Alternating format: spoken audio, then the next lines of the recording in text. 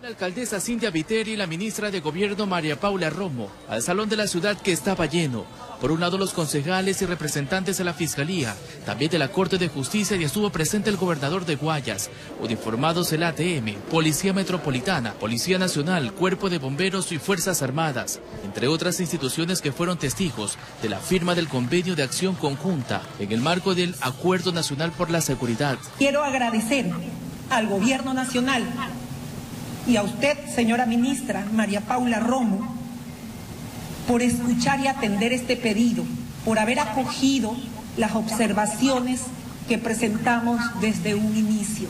Guayaquil, que en determinado momento fue un caso de la disputa entre el gobierno nacional y el gobierno seccional en una materia tan sensible, también hoy se va a convertir en el ejemplo de lo que podemos lograr cuando trabajamos juntas. Y así va a ser. Pidieron al Consejo Nacional de la Judicatura que sancione y separe a los funcionarios que por acción u omisión incumplan con normas legales. La frustración de la policía. Cuando volvemos a detener a una persona que tiene una, dos, tres, o hasta treinta y cinco detenciones anteriores sin haber nunca recibido una sentencia. Es gravísimo porque pone en duda nuestra confianza en la Administración de Justicia. Asimismo, se firmó otro convenio, pero para integrar las cámaras de seguridad del EQ 911 con las de la Corporación para la Seguridad Ciudadana de Guayaquil. Podemos tener un solo 911 de Guayaquil que podrá recibir las llamadas de emergencia.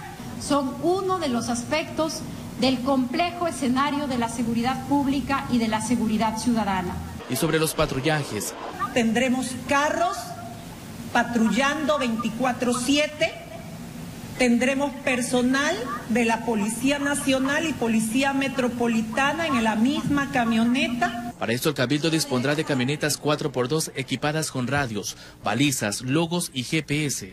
El gobierno mediante la Policía Nacional también estarán con sus vehículos.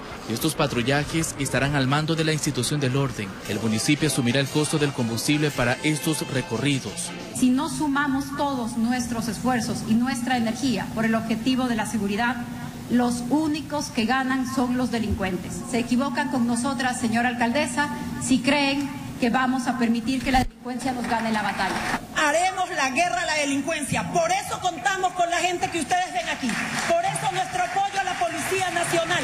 Y por eso nuestro apoyo a toda acción, señora ministra, que usted en esta materia tome a nivel del país. El plazo establecido para ver en acción el retorno del plan Más Seguridad que en la urbe porteña es de 75 días, es decir, hasta la última semana del mes de octubre del presente año, informó Charlie Pisa.